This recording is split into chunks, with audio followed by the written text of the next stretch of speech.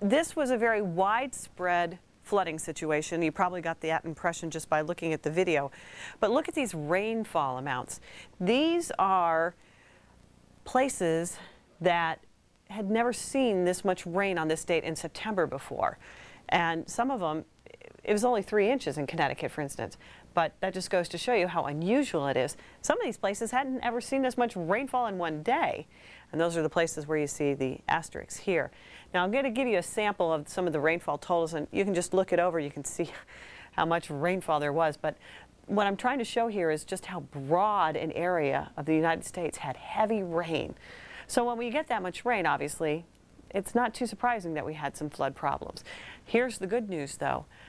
No more flood watches, just a few flood warnings here, Connecticut, southern sections of New York, northern New Jersey, and conditions continue to improve. So we should start to see some of the rivers and creeks in this region begin to recede here in the short term. And part of the reason that's happening is because we've seen the rain tapering off. Floyd, the remnants of Floyd, got absorbed into this area of low pressure here we're still seeing some rain wrapping around behind the low pressure system throughout Maine and parts of New Hampshire, but for the most part the rainfall is light.